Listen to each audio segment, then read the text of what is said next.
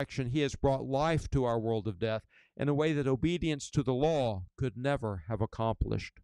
We share in his life by grace, not by anything we could possibly earn or achieve merely by our own ability. We must now use our freedom as human persons to take up our crosses so that we may unite ourselves to Christ in his great self offering for the salvation of the world. It is only by dying to the old ways of death that we may live as his new creation. For God sent his Son into the world not to condemn the world, but that the world might be saved through him. Let us continue to celebrate the birth of the Theotokos as a foreshadowing sign that his gracious mercy extends to all who respond to him with humble faith. And that is not a matter of legal observance, it's a matter of embracing personally the great victory over sin and death that the God man, the second Adam, has worked for us through his cross for the salvation of the world. In the name of the Father, and of the Son, and of the Holy Spirit, one God. Amen. You have been listening to Eastern Christian Insights with Father Philip LeMasters, homilies from St. Luke Orthodox Church in Abilene, Texas. This has been a listener supported presentation of Ancient Faith Radio. Boldly proclaiming the truth of the risen Christ. This is Ancient Faith Radio, timeless Christianity 24 hours a day. Search the scriptures as Christ our God said This is Search the Scriptures Live with Dr. Jeannie Constantinou. Join us for an interactive verse by verse study of the Bible with one of Orthodoxy's most respected biblical scholars. Study along with us and share your comments and questions by calling 855 237 2346. That's 855 237 2346. Here now is Dr. Jeannie Constantinou. In the name of the Father, and of the Son, and of the Holy Spirit, Amen. Illumine our hearts, O Master who loves mankind, with the pure light of thy divine knowledge, and open the eyes of our minds to understand thy gospel teachings. Implant in us also the fear of thy blessed commandments, that trampling down all carnal desires, we may enter upon a spiritual manner of living, both thinking and doing such things that are well pleasing to thee. For thou art the illumination of our souls and bodies, O Christ our God, and to thee we ascribe glory, together with thy Father who is from everlasting, and thine all holy and good, and life giving Spirit, now and ever, and unto the ages of ages. Amen. Christos Anesti, Christ is risen. Hello, everybody. I'm Dr. Jeannie Constantinou, and this is Search the Scriptures Live. Today's date is May 23rd, 2022, and we're continuing our discussion of the resurrection. This is going to be the last uh, discussion of the resurrection, at least for now. Next Monday, for the next two Mondays, there's no live show. Then I will return live, but we will be talking about Pentecost because that will be the Monday of the Holy Spirit.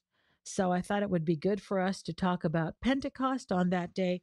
Then after that, well, I have ideas. I think I, I can't remember if I told you yet what I think we're going to be doing when we return. But um, at any rate, we will embark on new studies afterwards, beginning in the summertime. So for our last little lesson on this of this series on the resurrection, we're going to talk about the oldest written account of the resurrection. This is actually older than the gospel accounts, and you should know where to find this. I wonder if you know which is the oldest written account. We always have to add the word written because the first account was by the myrrh bearers when they found the empty tomb. By the way, if you want to call us tonight, I always forget I always forget to announce the number. You do hear it, but here it is again in case you want to call with your questions or comments. The number is 855 237 2346. I have it right in front of me, but I get so focused on what I'm going to say that I always forget to announce it. So 855 237 2346, 855 AF radio. So the, the oldest account, the oldest telling about the resurrection was on that day, on Easter Sunday, when the ladies uh, found the empty tomb, right? And the men ran down there and they looked for the body of the Lord. It wasn't there. And then he began to appear to people. So I'm uh, speaking with a lot of precision here. I just want you to understand that. So it's not the oldest account, but the oldest written account of, that we have, anyhow. There might have been others, but they have not survived. Remember, not everything from antiquity survived. As a matter of fact, most of the writings that existed during the first century, during in what we call antiquity, did not have not survived today. We think scholars estimate people who study this type of thing estimate that we have only 10% of the books that existed at the time. So this is why this whole idea, well, if it's not written down someplace, you can't believe it. You know, th- that's nonsense because most writings from antiquity have not survived until today. They don't exist any longer. And there's reasons the destruction of cities, the Persian invasions, the conquest of Rome, things like this. So, on some ancient documents exist in only one copy, and uh, others in just a handful of copies.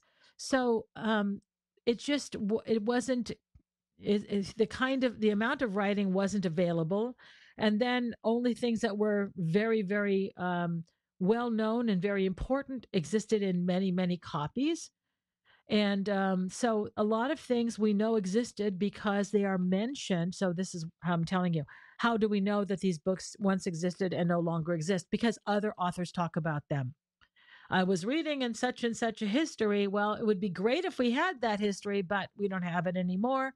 Or we'll say in the letter of so and so to so and so, well, that would be great if we have that. Oh, on the count of this martyrdom, this it it says this. Well, we don't have it anymore. So this whole idea that we have as Westerners that everything has to be written down and subject to some kind of historical or scientific verifiable proof is just a fallacy. Uh, this is a new thing. This is a very modern notion. Get over it. Okay, that's not how people lived for most of humankind's existence, relying on some word to back up what they believe. You know, it's a it's a it's a real problem if you eh, if you insist on this and you're trying to study the Bible or looking to for have to have faith in God. God didn't give us written proofs of anything. Anyhow, so the oldest written account of the resurrection appearances. Where can that be found? Have you figured it out yet? Do you know?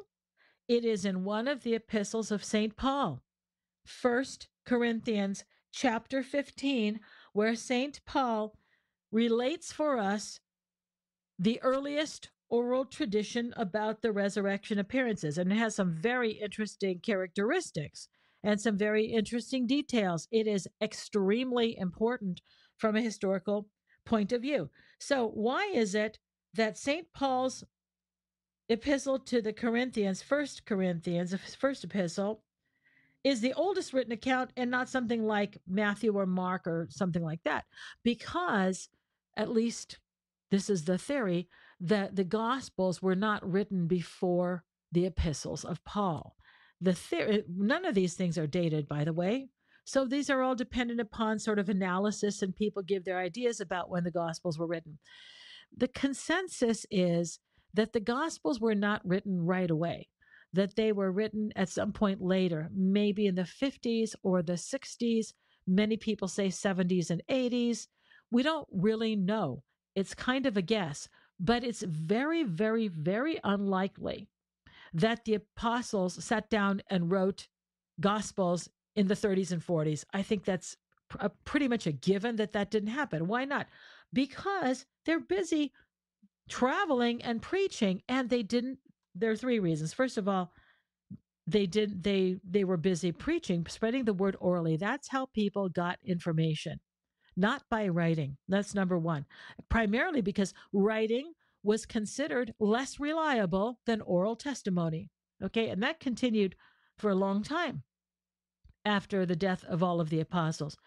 They didn't trust writing because writing could be altered. It could be changed because everything was hand copied. So this idea that uh, they must have written it right away, they just didn't feel the urgency. Then the probably the fourth reason would be again, they thought that the Lord was coming back very soon. They didn't feel the urgency to write down their experiences with the Lord in what we would call today the Gospels because they thought he was coming back any moment. So, you know, he did say that he would return, but when he would return, that we don't know. And but they had this very strong um, passion and urgency in the early church to spread the gospel, and that was considered best done by oral transmission. And that's because that's how people learned. They went to school and they sat down at the feet of their teacher and they listened. That's how people learn. Can you imagine? Because today we're so we we we we have lost the ability to focus. We're so easily distracted. And we've trained our brains to be distracted. And we think that somehow it's great when we can multifunction. And you know what multifunction means? Multifunction means you're distra- distracted and you're not really doing anything very well. That's actually true. That's been proven by psychological tests. So, people in those days, they sat down and they really focused when they were listening to someone and they had techniques to memorize things. This is how people learned. They didn't have a textbook. There was no New Testament. They didn't sit there and take notes when Paul preached or something like that. That just didn't happen. So the apostles wrote the Gospels later. All right. So the earliest parts of the New Testament are probably the epistles of Paul. And when it comes to the Corinthian correspondence, we can actually date that pretty well. So we did speak about this when we did our overview of the New Testament, but I will remind you that uh, Corinth is very important when it comes to our study of St. Paul and dating his epistles because we know exactly when Paul was in Corinth because of certain references in the book of Acts and archaeological discoveries that have been made about people who were in Corinth and events and things like this. So I, am not going to repeat that here because we'll just get little. I'm already a little bit um, off track here. So we know that St. Paul was in Corinth between the year 50 and 52. That's our dating. The Romans had their own dating. So between 50 and 52. Then after he left, there was some kind of trouble in Corinth. The Corinthians were a real problem. They were a real handful for St. Paul. So First Corinthians would not have been written probably before 53, maybe more likely 54. Okay. So First Corinthians is written around the year 54, and he's talking about the resurrection of Jesus Christ at the very, very end. Okay, now, so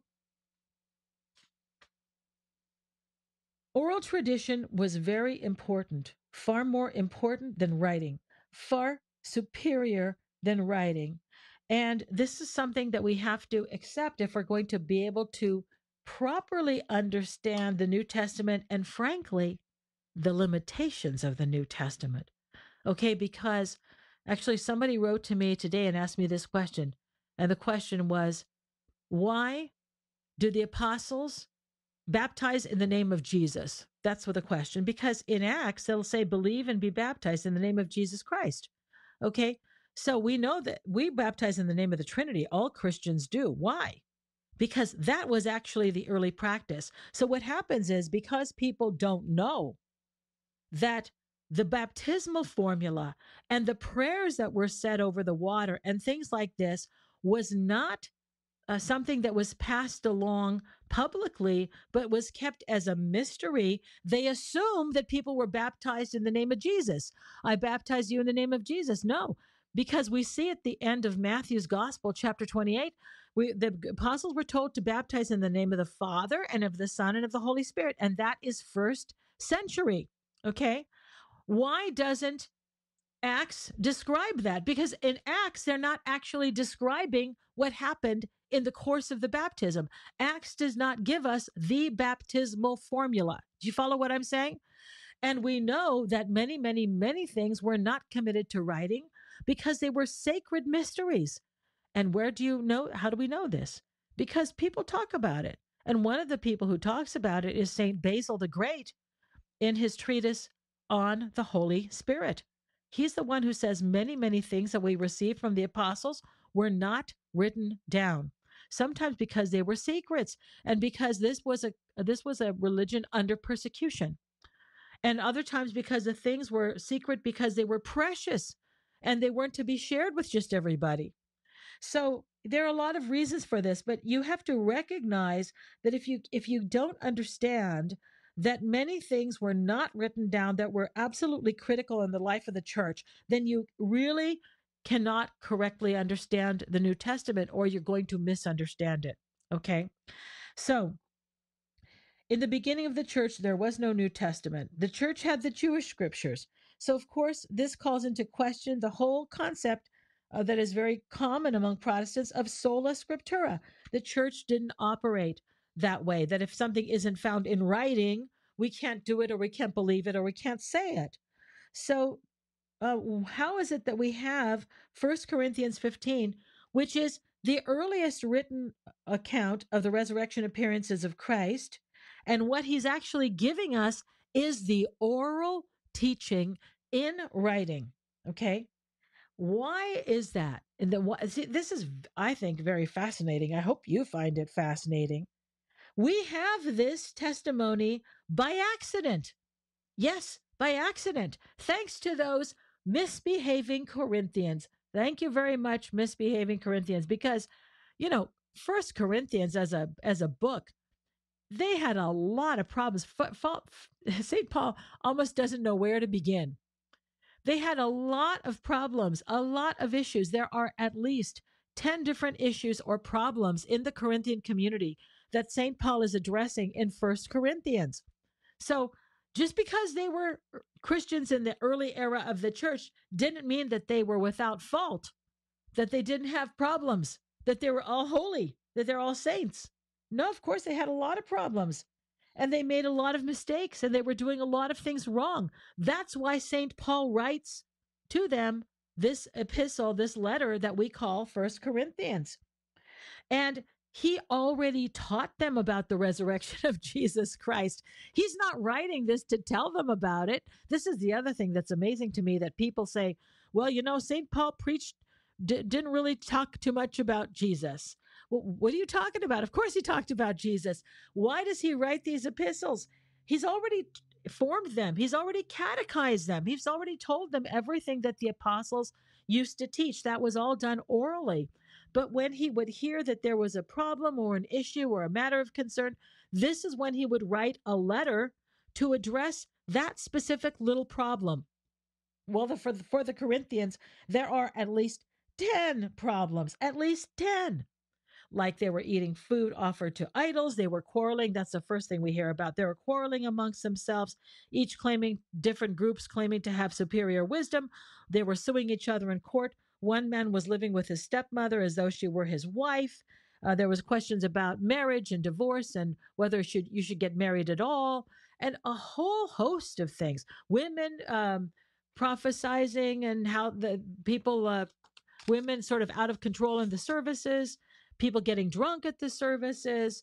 Um, the problem was not that women were prophesizing, but how they were uh, how the services were being conducted, people all talking at once at the same time.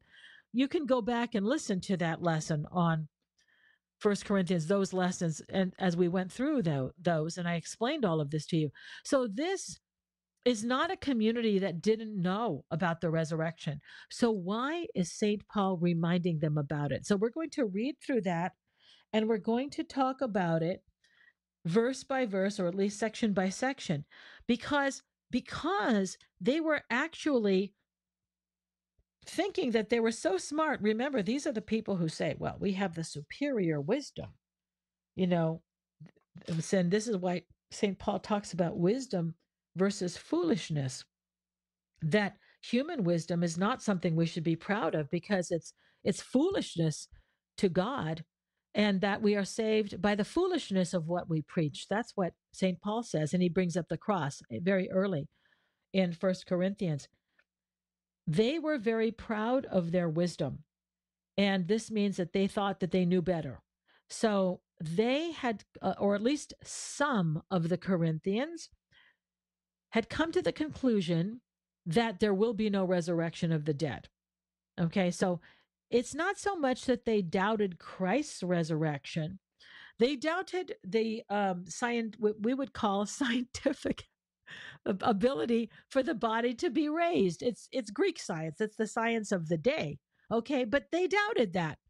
So he reminds them of what how they accepted the resurrection and how important it is and then lists these various witnesses okay so that's what we're going to talk about today but this is first corinthians is an extremely valuable epistle because we learn a lot about the life of the primitive church. Clearly not every congregation was like this but it does give us a little window into some of the things that were going on in these earliest the primitive christian congregations. So he's going to remind them of what they were taught and then he goes on to explain it. And for him it's not enough for them to believe even if they believe that christ rose they have to believe that they will rise but he's they say well there is no resurrection now i will go ahead and explain this to you so that when you you'll understand why they felt that way. Um, ancient Greeks, the ancient Greeks, in their approach to science, some the kind of widespread idea about the world was that everything that exists is comprised of four elements. Okay, everything that you can see is comprised of four elements, and it was different combinations of these things. So the elements are earth, fire, air, and water. All right. So they thought that whatever you see, including the human body, every single thing is composed of different combinations, like a recipe of these different elements. Okay. So when a person died and the body uh, dissolved back into the earth, it returned back to those original elements. You went back to being water, earth, air, or fire. So they thought it was impossible scientifically speaking that's greek science okay of the time that not everybody believed that and because believe me there were a lot of things that the greeks knew about that are just mind-blowing like atoms and things like this that the that this the earth revolves around the sun they could measure they knew the circumference of the earth and things like this so don't think that they were all ignoramuses because they were pretty intelligent about a lot of things but this was kind of standard belief. All right. So when you died, your body dissolves, uh, decays, it goes back to those substances, and it was impossible to reconstitute it. That's what these Corinthians believe, and a lot of people were arguing. Now, there was a different argument from a, a sort of a philosophical perspective, and that was that why would you want to come back to a body? That's more based on their philosophy, the philosophy being that the soul is superior to the body, the body is just a hindrance to the soul, the body is like a prison for the soul, the body gets sick, the body, uh, you get old, you get tired, you need to be fed, you need to rest. So the body is a disadvantage. So when you died, your soul was liberated from the confines of the body. So why would you want to go back to the body? So that's a different argument. That's kind of a philosophical argument. That's what Paul encountered in Athens, okay? But we will come to that if I stop talking we get onto the passage. So first I'm going to read for you the first 11 verses of chapter 15 of First Corinthians. So this is his by the way, this is his closing. This is his last big argument. He's talked about nine different problems that they're facing. And this is the last thing he brings up because it's the most important. He wants to end with his discussion of the resurrection. St. Paul. Moreover, brethren, I declare to you the gospel which I preached to you, which you also received, in which you stand, by which you are being saved, if you hold fast that word which I preached to you, unless you believed in vain. For I delivered to you, first of all, that which I also received, that Christ died for our sins, according to the Scriptures, and that he was buried, and that he rose again on the third day, according to the Scriptures, that he was seen by Cephas, then the twelve. After that, he was seen by over 500 brethren at once the greater part remain to the present, but some have fallen asleep. After that, he was seen by James, then by all the apostles. Then, last of all, he was seen by me also, as one born out of due time. For I am the least of the apostles, who am not worthy to be called an apostle, because I persecuted the church of God. But by the grace of God I am what I am, and his grace toward me was not in vain. But I labored more abundantly than all of them, yet not I, but the grace of God which was with me. Therefore, whether it was I or they, so we preach, and so you believed. Now, let's start with the first two verses when he says, Moreover, brethren, I declare to you the gospel which I preached to you. The gospel, of course, is the good news.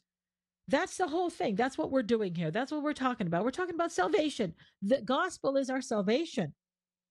That's what I preached, which you also received, in which you stand. He's reminding them that this is what he preached to them. And they said they received it. They they received it. They were baptized. They accepted it. You're standing on the gospel, this on which you stand, he says, by which you are being saved. It's not past tense, it is the progressive. It is they are being saved if you hold fast that word which I preach to you. Notice the condition. They won't be saved if they discard that word that he preached to them. Unless you believed in vain. What does that mean in vain? means useless, of no account. So they are, yes, he says, you are saved. You stand in this, you are saved, by which you are being saved. You are saved if, if, if. So there's no such thing as once saved, always saved here. They will be saved if they continue to hold fast to these doctrines. Think about that. That's non negotiable. The resurrection of Jesus Christ is a dogma and it's non negotiable. Okay. So, yes, Christ died for us. We are saved, but we're being saved if we hold fast to the word. Okay. So, his point is that it's not a done deal. You have to continue to maintain the apostolic faith. Otherwise, your faith is in vain. That means it's pointless. It's to no purpose. It is absolutely useless. So in verse 3, he says, now he goes on to talk about, because he's leading up to this eyewitness account. We haven't reached that yet. Listen to this, verse 3 For I delivered to you, I handed on to you, first of all, or of first importance, that which I also received. Now, this word I delivered to you, or handed on to you, is the Greek word tradition. Now, that word is not, the word tradition is not a verb in English. We can't say, I traditioned to you. You can say, I gave you this tradition, but there's no, but in Greek, the word tradition is both a noun and a verb. So he says, I tradition to you, I pass this on to you as of primary importance, as the most important thing ever that I received. It says here, and I, I have a note to myself, that the Orthodox Bi- Study Bible says that Paul received this as a personal revelation. That's not true. Not true at all, because he says what I also received. Okay? That means Paul himself was catechized. He wasn't a follower of Jesus Christ. He persecuted the church. He talks about that in this chapter. So how did he learn about Jesus Christ? Once he met Jesus Christ on the road to Damascus and had spent three days blind and praying, and he was healed, he became a follower of Christ and he was catechized. He learned these things. He was taught these things by those who were apostles before him. So to to tradition something, tradition means that you pass along what you receive. That's exactly what tradition is. You receive something and you pass it along. So he's saying that he received this when he was catechized and he passed this along. so now we're at the 30 minute mark. So let's take a little break right now. And when we return, we will continue and we will talk about what St. Paul received about what the oral tradition about the resurrection of Jesus Christ, which he received as a catechumen. Dr. Constantinou will be back in a moment, but the lines are open for your calls. The number is 855 237 2346. That's 855 AF Radio.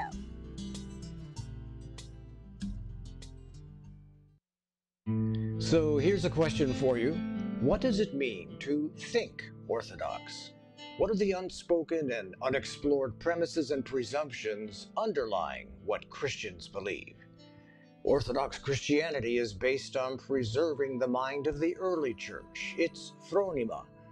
Dr. Jeannie Constantinou brings her more than 40 years' experience as a professor, Bible teacher, and speaker to bear in explaining what the Orthodox phronema is, how it can be acquired, and how that phronema is expressed in true Orthodox theology, as practiced by those who are properly qualified by both training and a deep relationship with Christ. Thinking Orthodox, now available at store.ancientfaith.com. That's store.ancientfaith.com.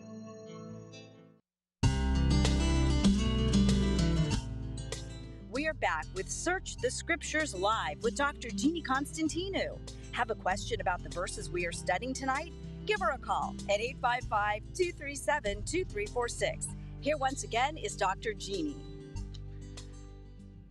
Okay, so here is what St. Paul said to them For I delivered to you as of first importance what I also received. This is what he's writing to the Corinthians. So now he's make, making the point that this is the most important thing that they were taught the resurrection, because everything depends upon that. Otherwise, what is the gospel? The gospel is just not that Jesus died on the cross, you know, paid the price for our sins or something like that. It's that we have the opportunity to have eternal life because he conquered death. That's why the resurrection is so important. That's why we don't focus on that, you know, payment of sins and that kind of a thing. It's it's all about the resurrection. It's about what does this mean for me? And it is the opportunity for eternal life. For I delivered to you as of first importance what I also received. That now, it has been noted by Bible scholars, and I think it is true, that Paul is making a list here. This was an early kind of creed. Before the Nicene Creed, which is what we use today in church, there were other creeds.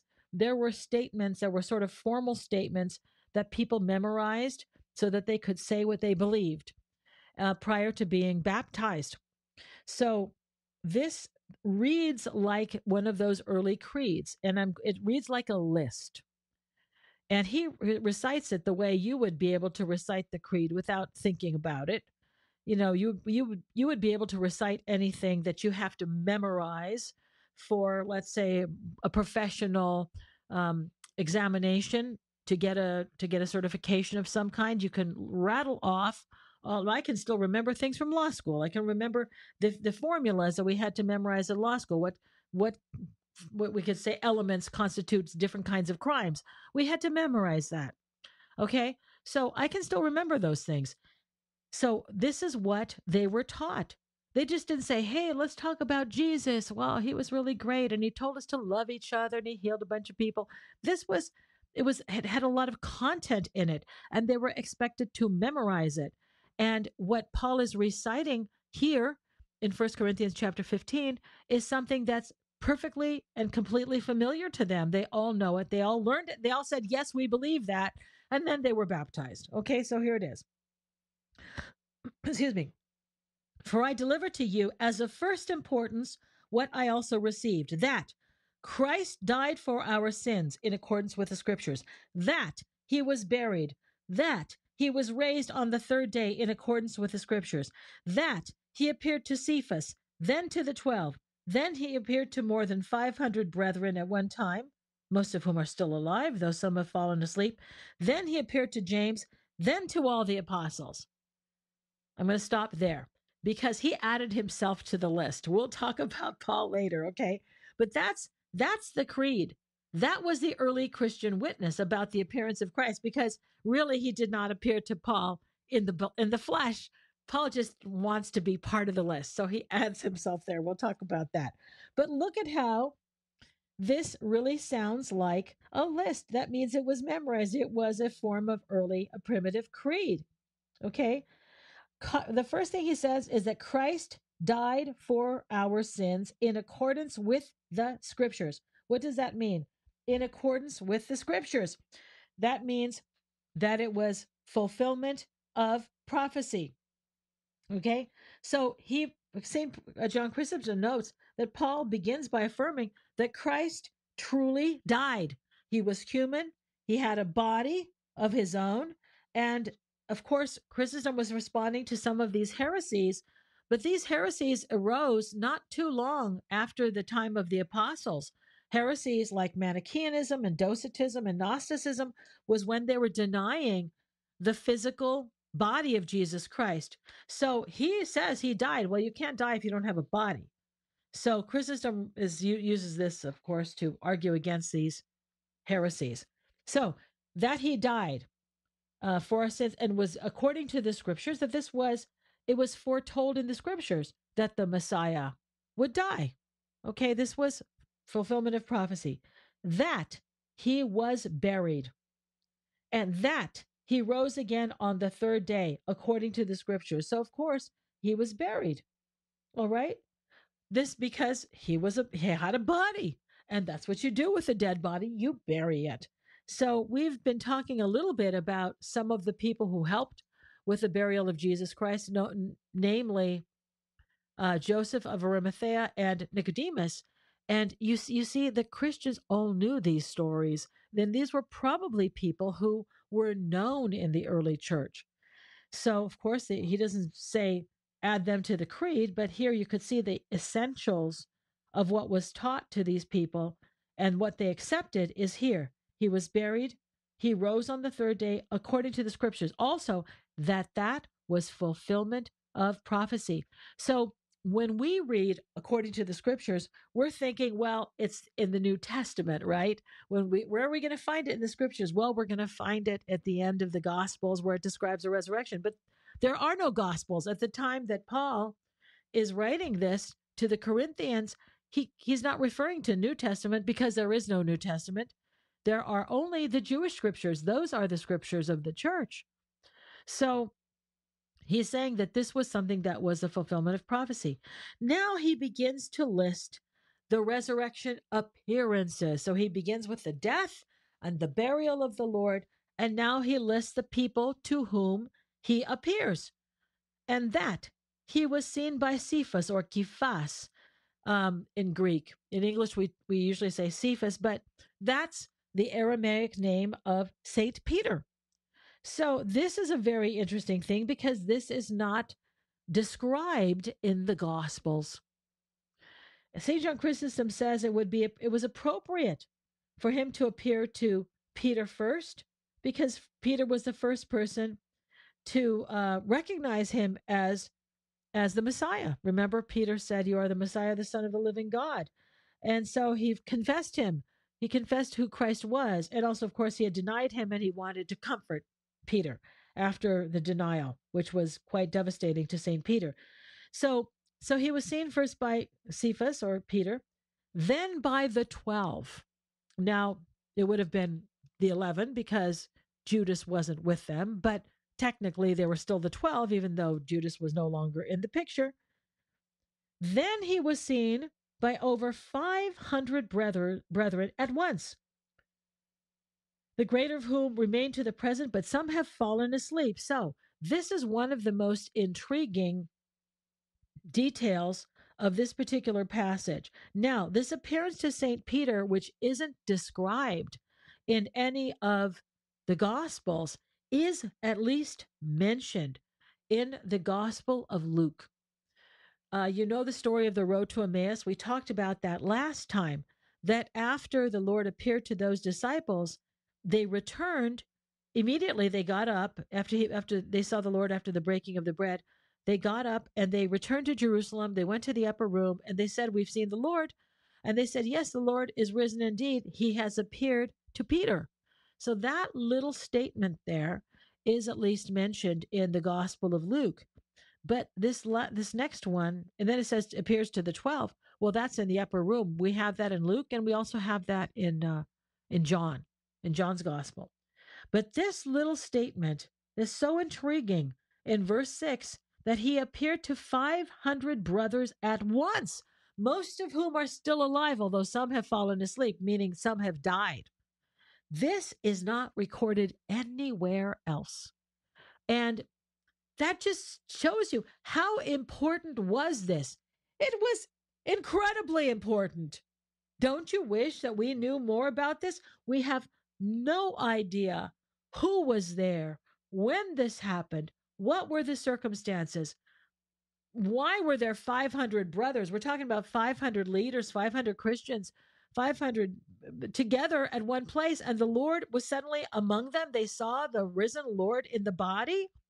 We don't know anything at all about this appearance except that it happened. Because St. Paul not only tells us it happened, but every Christian knew about this appearance. The Corinthians weren't in the Holy Land. They never knew the Lord before he died. They never saw him alive again in the body. This is part of their catechism. And not only that, theirs, but everyone's. What I want you to understand is that this was standard catechism. St. Paul didn't make up this list. He said this is what he received. That's very important because this is what all of the apostles taught. They were consistent in what they taught, what they preached when they brought people to faith in Jesus Christ. They all learned about this. So, this appearance of the 500 was widely known in the early church, everybody knew about it and they would have known the details, just like we know about some of these other ones, like what happened when he appeared to the 12 in the upper room and and they were afraid and they thought they saw a ghost uh, or later Thomas wasn't there then later Thomas came and what happened. Those appearances we know details about what happened in the from the gospels but this one we don't know anything else about what does that tell you about the importance of oral testimony? That it was considered more important than written testimony. Because if it was critical to write everything down, certainly somebody would have written down what happened here. Or maybe they did. And like I said when I began this podcast, maybe the those particular writings that did describe this were lost. But it's not in the four gospels. Sure isn't. I sure wish I knew what happened but we don't know. Now, Paul says he was seen by 500 brethren at once, most of whom are still alive, but some have fallen asleep. So, some fallen asleep, first of all, is the way that we're referencing um, death. Uh, just like Jesus says about Lazarus, Lazarus has fallen asleep and I'm going to wake him up. And the disciples say, Yeah, that's good. If he fell asleep, it means he's going to recover. No, Lazarus has died. Okay. So fallen asleep is the reason the reason why we as Orthodox Christians like to say so and so has fallen asleep in the Lord is because this is the ancient Christian tradition. That's how we speak about death.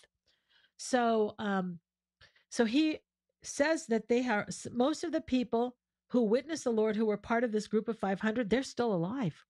Most of them are still alive. Why? Because this letter was written in the year 53 or 54 at the latest. And so this is about 20 years after the resurrection of Christ.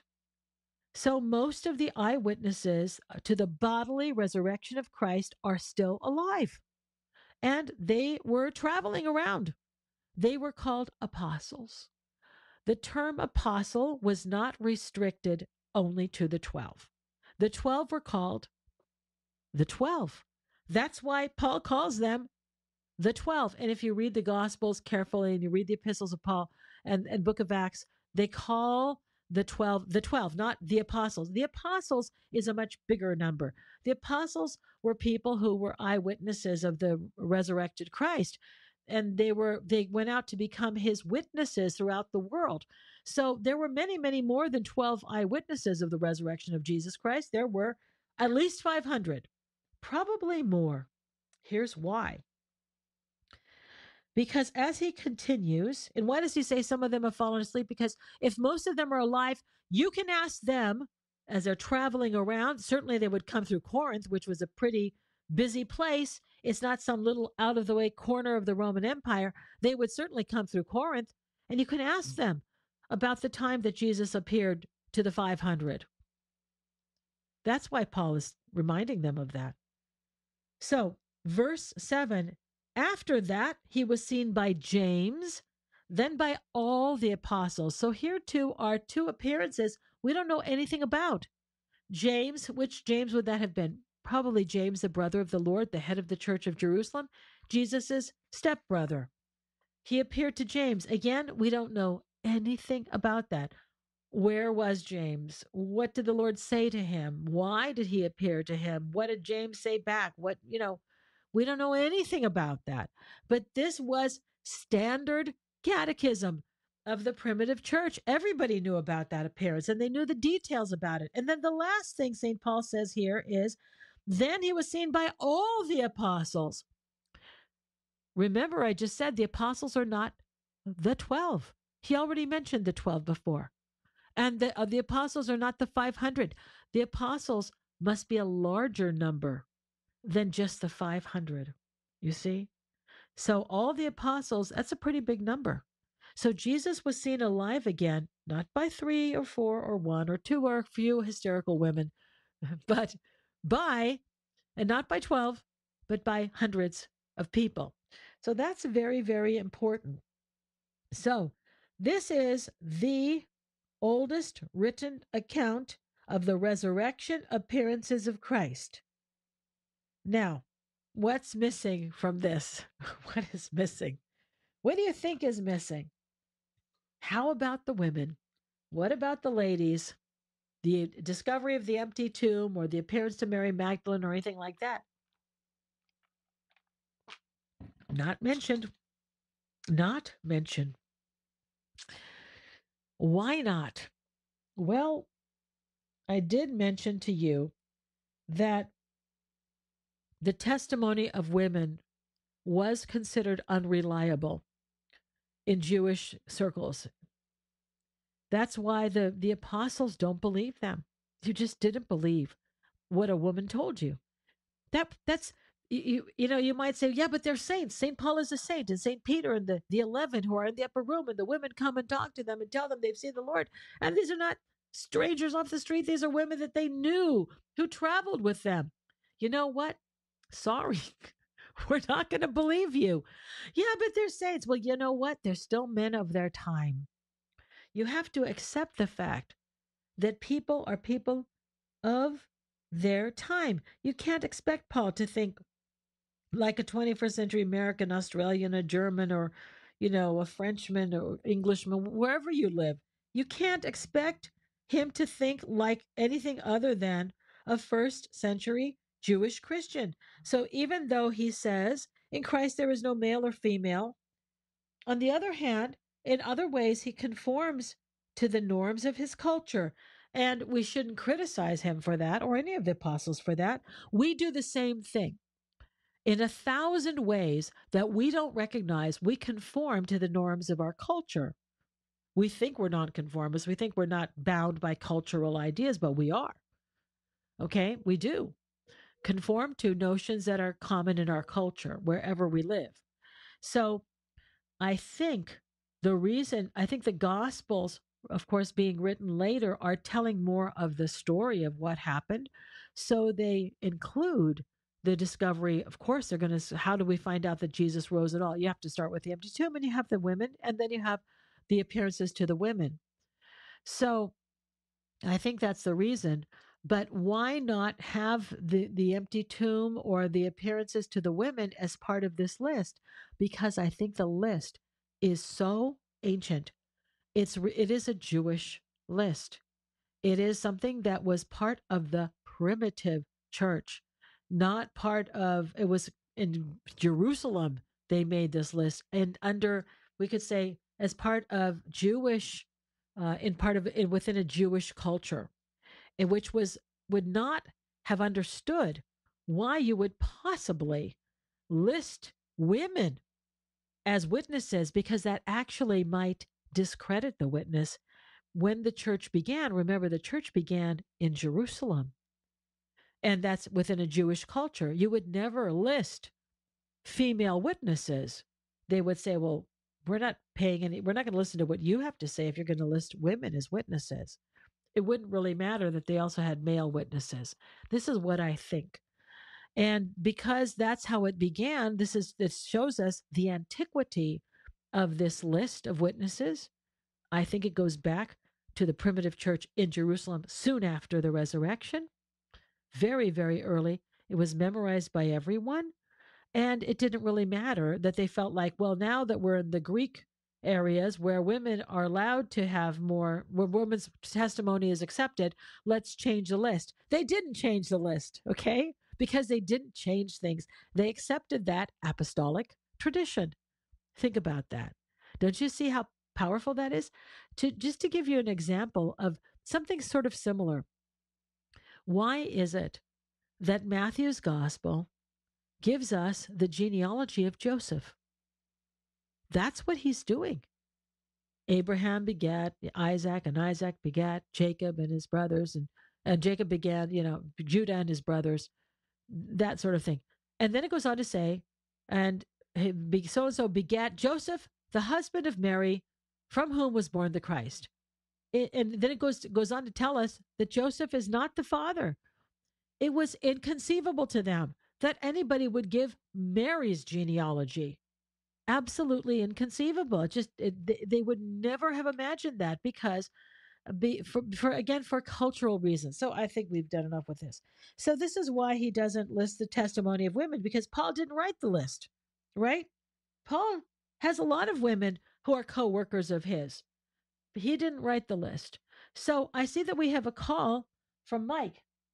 And uh, Mike's going to join us. Mike, where are you calling us from? Good evening, Presbytera. Good evening, Christos Anesti, Alithos Anesti. Welcome to Search the Scriptures Live. You're Thank from you so Minneapolis. I see. Yeah, Minneapolis area, yeah. So I'm giving a call because this is such a small thing that you mentioned, and if this is just one of those micro things, please just tell me so, and I'll I'll pass it by.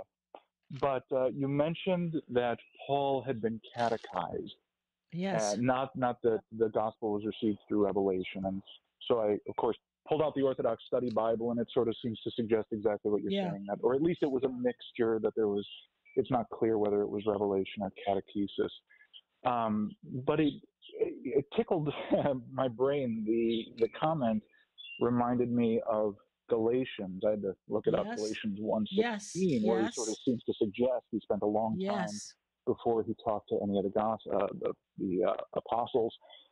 And so I, I pulled as many books as I could find before calling to see if there was a good answer. I, uh, I grabbed Father Farley's books on the companion series, and he sort of lays out a timeline suggesting that the revelation on the road to Damascus was around 35 AD, and that Paul's first trip to Jerusalem was 37 AD. Again, this might be a small point, but I was just hoping you could maybe flesh out a little bit of that uh, idea that this was this was catechesis and not revelation.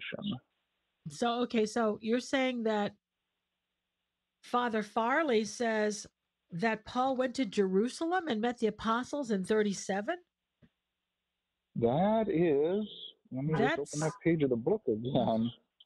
Yeah, he's got the Because chronology. that's not- 35 is the conversion of St. Paul, and Yeah. 37 first visit to Peter uh, at Jerusalem, Galatians. But that 1. okay, I, I I I haven't read any of Father Farley's books, so I, I but I'll take your your word for that. I don't mean to be disrespectful to him or anything, but in Galatians it says after 14 years I went up to Jerusalem. So I don't know how he's arriving at that, but that's really irrelevant to what we're talking about.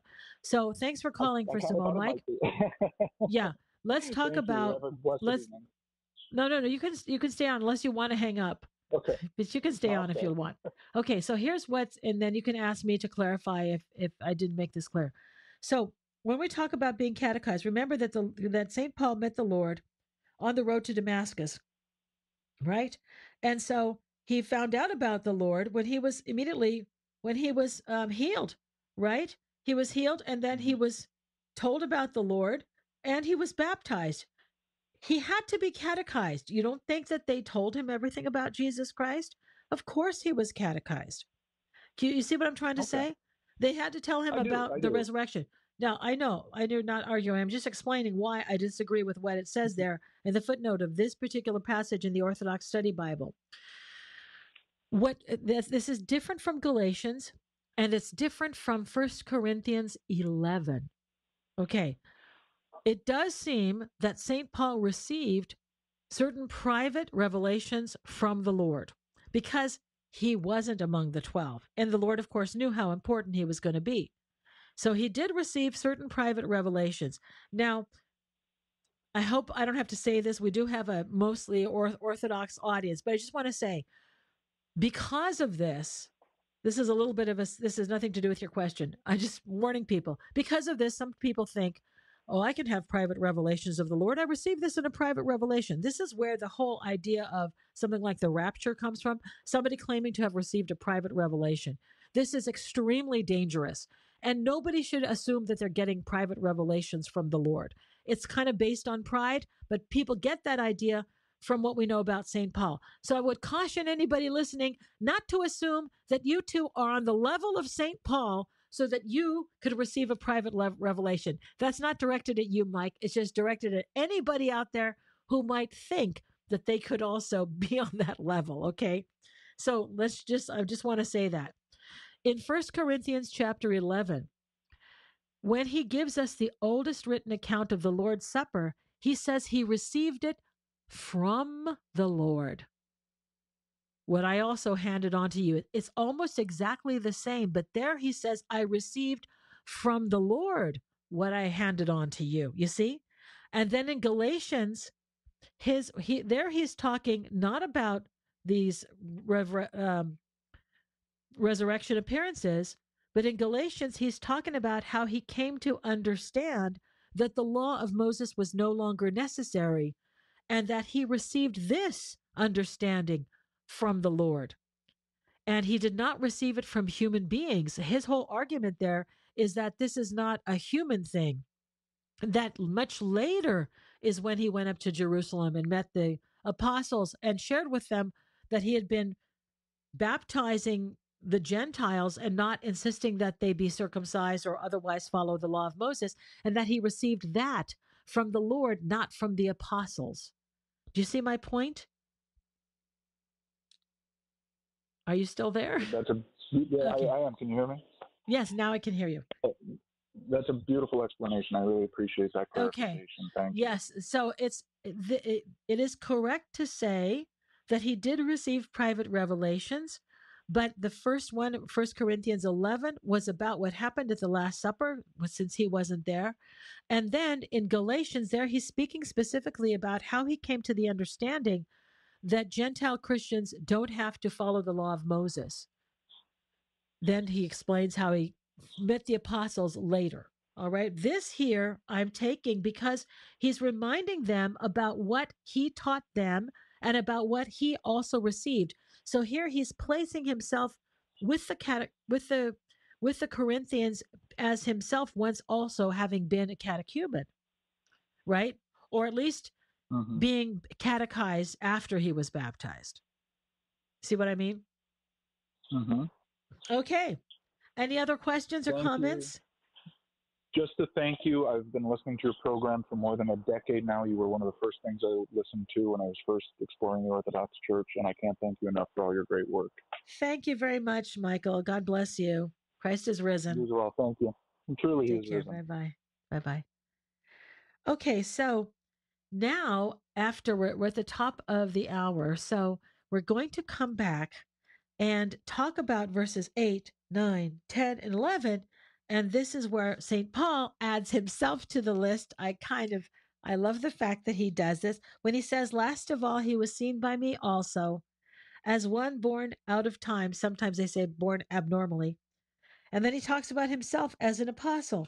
All right so we are going to go ahead and talk about that and then what he says after this about the importance of the resurrection after our break. Dr. Constantinou will be back in a moment, but the lines are open for your calls. The number is 855 237 2346. That's 855 AF Radio.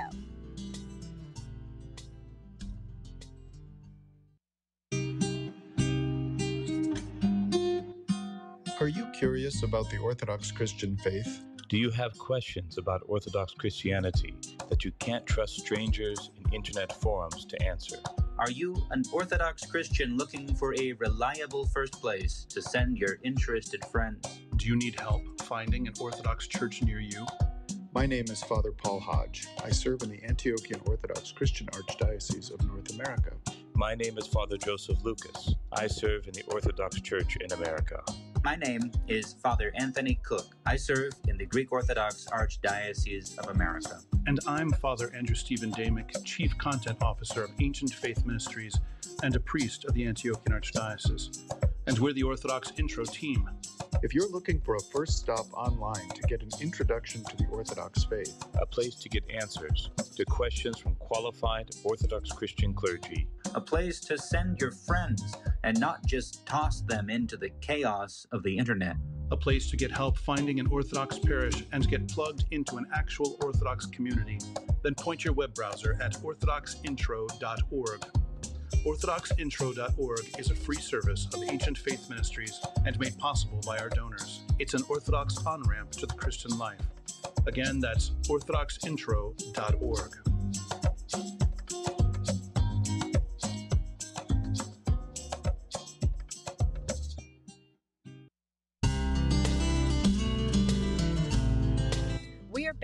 Search the Scriptures Live with Dr. Jeannie Constantinou. Have a question about the verses we are studying tonight? Give her a call at 855 237 2346. Here once again is Dr. Jeannie. Okay, we're discussing St. Paul's first epistle to the Corinthians, chapter 15, about the resurrection. We won't get to most of the chapter where he talks about some very important things like, you know, Christ being the first fruits of those who have fallen asleep. Actually, we did cover this chapter when we did an overview of St. Paul we discussed each of his epistles and I discussed some of the key passages. And I remember that we did talk about chapter 15. So you can find that if you look, um, either uh, if you l- listen, go to the AFR site to find Search the Scriptures live. Um, where you where you log in to listen to this program, it, it has uh, the past episodes. There's a place where you can click for the past episodes. I'm trying to remember what the button says now. It says I think it says archives. That brings up all the past episodes. Or you can go to orthodoxbiblestudy.info, not studies, not plural, orthodoxbiblestudy.info. And there, there's a, a site that lists, that posts all of the content, all of the old uh, Search the Scriptures podcasts and all the new ones, including these live ones here. So um, there you can look, it, it's all on one page, which makes it very easy to find. So you can look to see where we talk about First Corinthians and the resurrection and listen to that if you're interested in that. So here is what St. Paul adds after he says, this is what we taught you. This is what you said you believed. This is the the faith on which you stand. You said you received this. You said you believed it, unless your faith was in vain. That, that, that, that, that, that. He appeared to this and the guy and this one, this and this and this and this. And last of all, here's the part he adds. It's not part of the creed he appeared, he was also seen by me as one born out of due time. For I am the least of the apostles, am not worthy to be called an apostle, because I persecuted the church of God. But by the grace of God, I am what I am, and his grace toward me was not in vain. But I labored more abundantly than all of them, yet not I, but the grace of God which was with me. Therefore, whether it was I or they, so we preach, and so you believed. Now, there's a lot we could say about this passage, but let's start off by talking about why does he say that he was born out of time, or sometimes it's translated as abnormally or out of due order or something like that. What is what, what does this mean? Why does he say that? Because he was he did not know the earthly Christ. He never met Jesus. And frankly, that was an absolute requirement to be considered an apostle. Remember, apostles and not just the 12.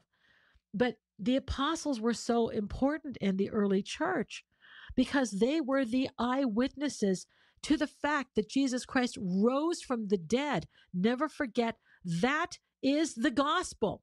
If anybody asks you what the gospel, don't just say that Jesus uh, gospel is. Don't just say that Jesus died on the cross for us. You got to add the resurrection every single time. That's what they did because that's what made you an apostle. Not believing that Jesus died or that he died for us, but that you saw him alive again in the flesh after he had died. That's what qualified someone to be considered an apostle. And there were hundreds and hundreds of them, as we have already established. St. Paul was not among them. And that's why he had so much difficulty in his life that people said he wasn't really an apostle. That's what the Second Corinthians is all about. Frankly, that's what Galatians is about too. People said you shouldn't be listening to Paul. You shouldn't have Paul as your spiritual father because Paul's not a real apostle. He never knew the earthly Jesus. So, why was that considered so essential? Because the apostles were the witnesses of the resurrection of Jesus Christ. And of course, they were witnesses to his miracles and his teachings and everything else.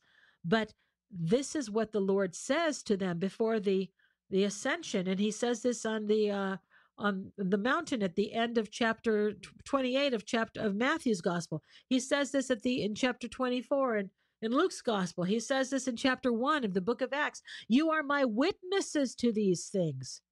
So the apostles are the witnesses of the resurrection and Paul was not among them. And that's why I think he's a little brokenhearted that he wasn't among these eyewitnesses. He wasn't part of the band, he wasn't part of the group. And it disqualifies him from being an apostle. And he had to fight to be considered an apostle. And to, to until the day he died, and probably afterwards, there were still people who did not consider St. Paul an apostle. And isn't that ironic? Because today, if you are reading any of the fathers of the church, and they are referring to some apostle without saying who it is. They say, as the apostle says, they're quoting St. Paul. Unless they're commenting uh, like there's a commentary on the Gospel of John, then they might refer to the apostle being the person they're talking about. But if they're just giving a sermon and they say, according to the apostle, it's Paul. He became the apostle. And that's so ironic and it's so beautiful. Of course, well deserved. But I'm trying to explain to you why Paul puts himself on the list because he also experienced the risen Christ. Of course, that's what changes him on the road to Damascus. That is what made him. That is what made him a follower of Jesus Christ. That experience on the road to Damascus. And then, of course, all the other things that happened to him afterwards. But that was it. That was a life changing experience as, as much as seeing and touching the actual flesh of Jesus Christ was for all those other apostles. So he says, last of all, he was seen by me also as one born out of due time. And then he wants to be considered an apostle, but he says, I am the least of the apostles. And I think he really felt that way because he persecuted the church. And that, I think, never left him. The knowledge that he persecuted the church the knowledge that people were that he arrested people put them in jail and we don't know what happened to those other people. We know that stephen he wasn't arrested by paul but stephen was stoned to death with the approval of saul. And then saul went around arresting people putting them in prison. What happened to them? Did they were they also martyred? Very possible. We don't know. So he had to accept that and he lived with that the way saint peter lived for the rest of his life with the fact that he denied the Lord. Okay, so he accepts this. And what does Paul say in verse 10? By the grace of God, I am what I am.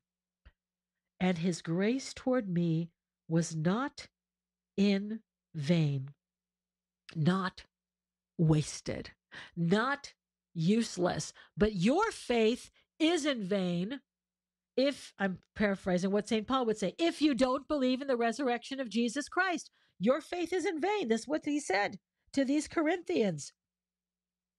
Now, this is one of the most beautiful statements of St. Paul that his grace toward me was not in vain. And oh my gosh, St. John Chrysostom talks about this and talks about how the Lord molded St. Paul. What does it mean that his grace was not in vain? It was not wasted. It was not useless. The grace of God did not come on St. Paul, not just once, but repeatedly, and have it go to waste. Contrary to us, we receive the grace of God thousands of times, beginning with our baptism, even maybe before our baptism, at Holy Communion. We receive the grace of God when at confession, when we pray, when we read the Bible. All of these things are opportunities to receive the grace of God. Does it change us? Have we become sanctified because of it? Are we different people every week? Are we becoming coming closer to Jesus Christ because of the grace of God? I would say no. But that's what happened with St. Paul. That's Chrysostom's point about this passage, and it is an unbelievable statement. You should you should read it. I, I don't have time to read it, but his point is that this is what made St. Paul a saint. That whenever he received the grace of God, it wasn't in vain. He was changed, he was improved. And because of this, in other words, St. Paul responded to the grace of God in his life.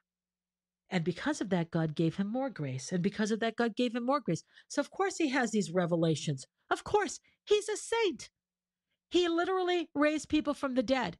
He, he healed people. I mean, these people are saints. Who are we to say, oh, I can receive revelations from Jesus Christ? Well, when you start raising people from the dead, maybe I'll pay attention, okay, to what you say. You have your own revelations. I've got this private revelation from Jesus Christ. There is so much arrogance in the Christian world because people think they can have private revelations like St. Paul, as if any of us are on his level. None of us are on his level.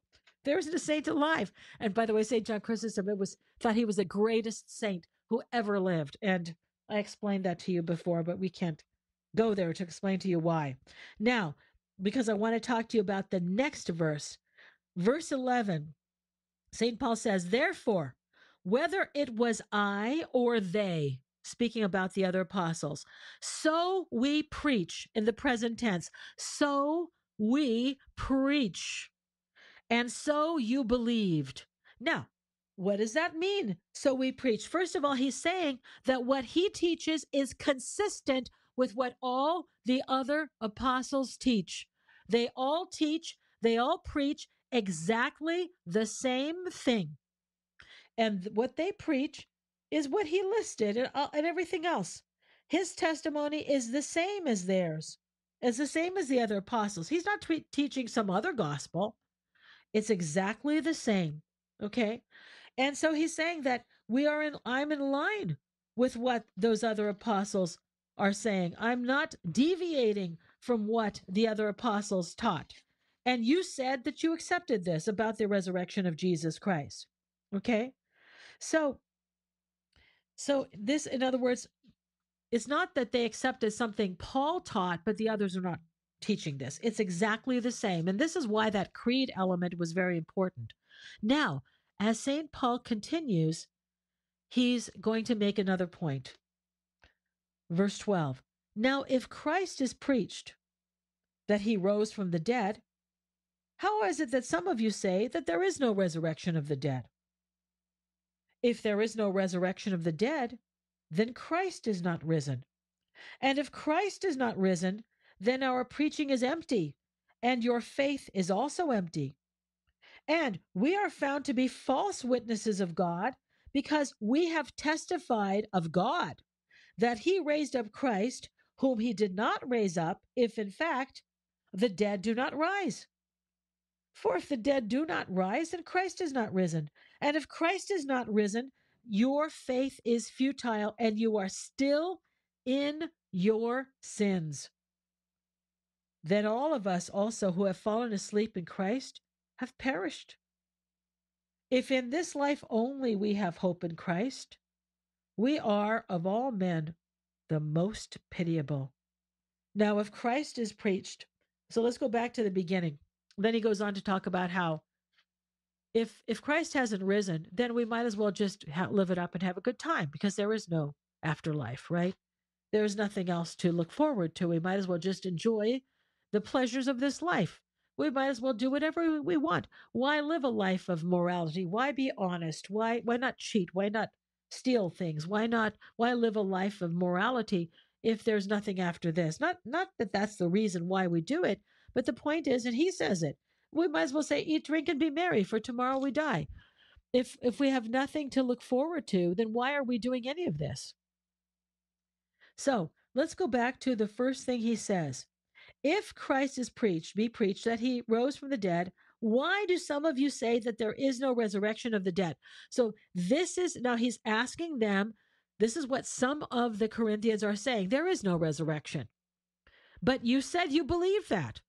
We all, all of these people that Paul listed are witnesses, eyewitnesses of the fact that they saw Jesus Christ alive again. Now, the Corinthians might say, that's fine. That's Jesus Christ. He the, he's God after all, right? They knew that. They believed that too. But we're not going to rise. Do you see? Do you see what they were saying? That's okay for Jesus. Jesus is God. But there's no resurrection of the dead. So part of this I explained to you has had to do with prevailing conceptions in their culture about science and also philosophical ideas. So, first, they thought that it was scientifically impossible for the body to be reconstituted. Okay. And then they would say things like, What about people who died at sea? And so you see little statements in books like Revelation where it says, And the sea gave up its dead, things like that. So what if they would come up with it? What if the person w- died in a fire and they were burnt up? So they came up with all these ideas of why resurrection was impossible, scientifically speaking, according to their ideas of science. Now, I also mentioned the Platonic philosophy. According to the prevailing philosophy at the time, you wouldn't want to go back to the body. So we see this with St. Paul in Athens when he is discussing Jesus Christ at the Areopagus, at the hill where the town council of Athens met. And people were interested in what he had to say about Christ until he mentioned the resurrection, and everybody started laughing. And then he lost most of his audience because the idea was that nobody wants to come back to the body. The body is inferior to the soul. The soul is imprisoned in the body. You're waiting until you die so that your soul can be free. So, um, this is something that they thought was ridiculous. It was a ridiculous concept, the resurrection of the body. So St. Paul had to respond to that. And most of the people, he, as I said, most of the people in Athens who were listening to St. Paul, they, he said they were very open minded. They loved to talk about the latest idea. This thing was just too much for them. So St. Paul is saying if we preach that Christ is raised, why are some of you saying that there is no resurrection. Because if there is no resurrection, then Christ is not risen. In other words, he had a body too. That's kind of important. If it's impossible for you to rise, then it's impossible for Christ to have risen. Okay, then Christ also didn't rise. In other words, if, if it's not possible, then Christ also did not rise. And if Christ did not rise, what are we doing? our preaching is empty if your faith is empty we're, we're wasting our time all these hundreds of people who saw the lord and left everything that they knew left their lives behind to travel around the world and talk about the the fact that they had seen the resurrection christ they're all liars and all of this is futile and in vain because if the dead do not rise, then also that applies to Jesus Christ. If it's impossible, that applies to Jesus Christ also. If the dead don't rise, Christ is not risen. If Christ is not risen, you can see the reasoning here. It's a very sound reasoning. Your faith is in vain. You're still in your sins. Notice that the crucifixion is not enough. Now, you might have been thrown off by that early on when he says that Christ died for our sins. Yes, he died for our sins. But if Christ is not risen, your sins are not forgiven. Okay? Because this is what he says here. If Christ is not risen, you're still in your sins. That's verse 17.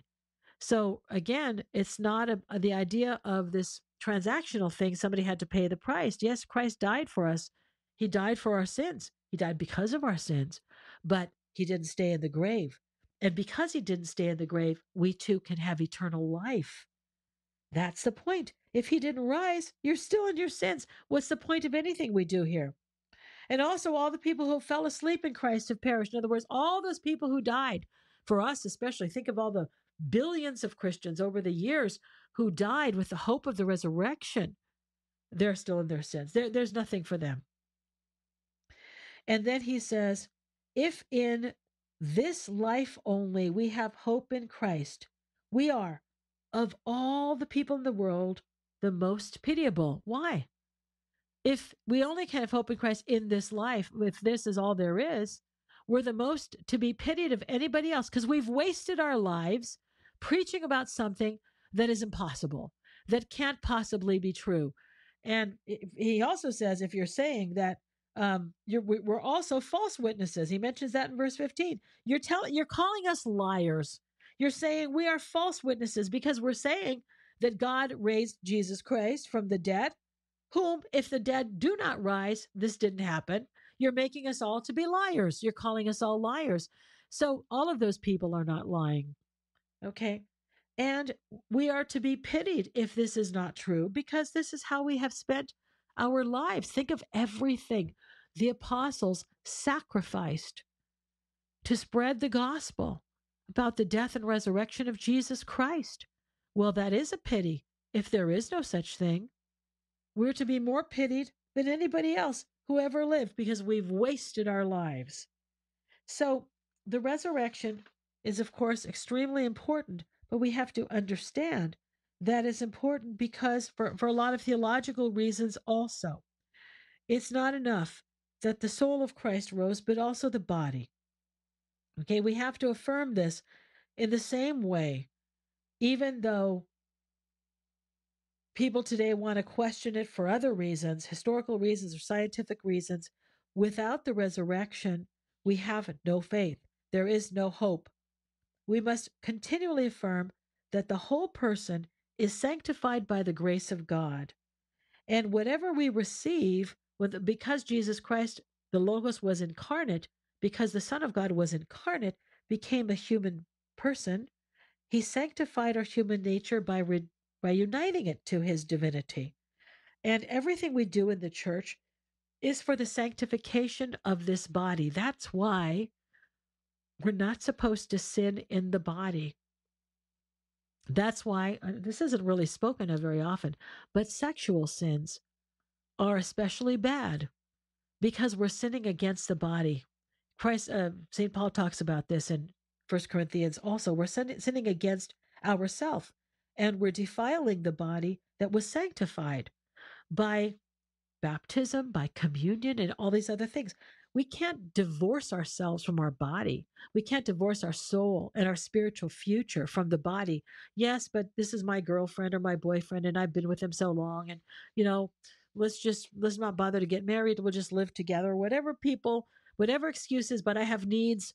And it's just like eating. You have sexual needs. It's just like eating. You have to fulfill that need. I mean, these are the excuses people give, but we have to recognize that this is a very serious thing.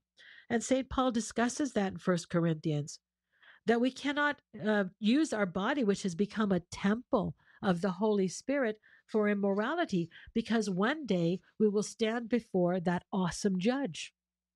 And we will have to account for ourselves and what we our sins are not just in our minds.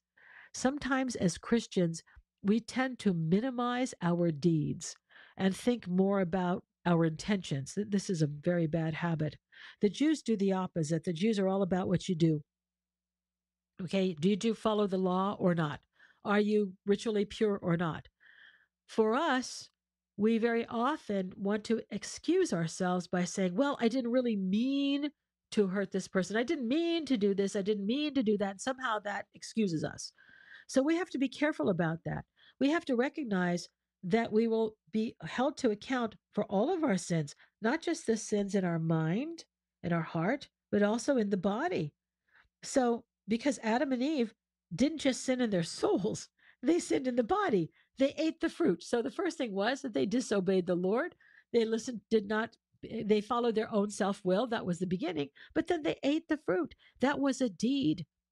And of course, because of this, they died, right?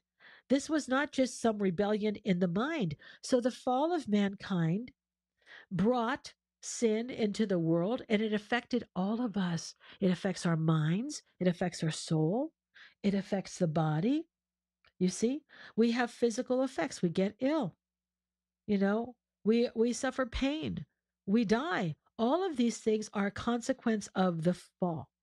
So these things will also disappear in the resurrection, in the next life.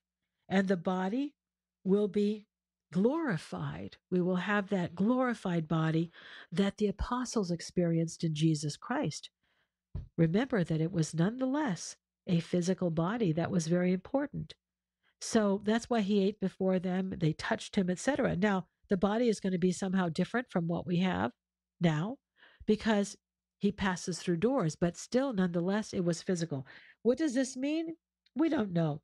But we have to accept the fact that we uh, that the resurrection is absolutely critical and we should never deny the resurrection or cast doubts on it in the slightest way because to deny that denies to deny Christ's resurrection also denies our resurrection. And then what's the point of being a Christian?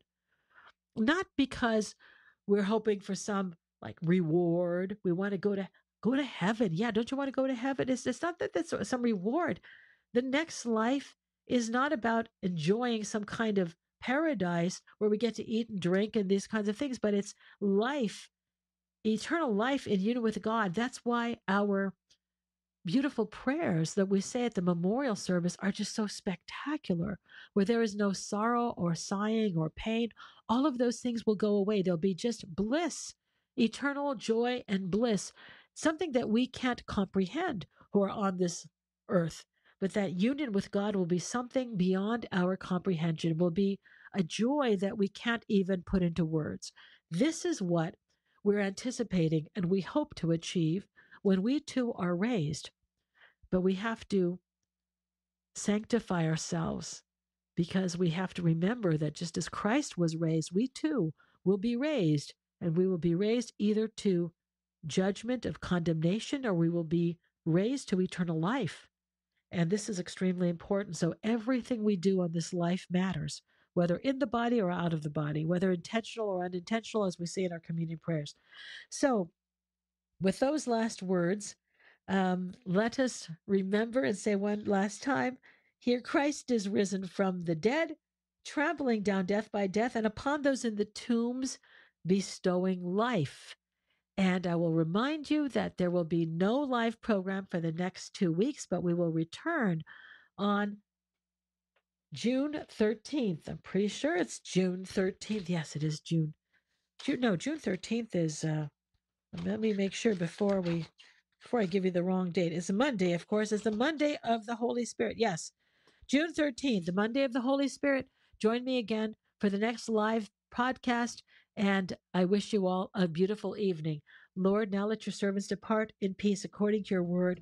For our eyes have seen your salvation, which you have prepared before the face of all peoples, a light to enlighten the Gentiles and the glory of your people Israel. Amen. Alithos anesti o Kyrios. Truly the Lord is risen. Good night.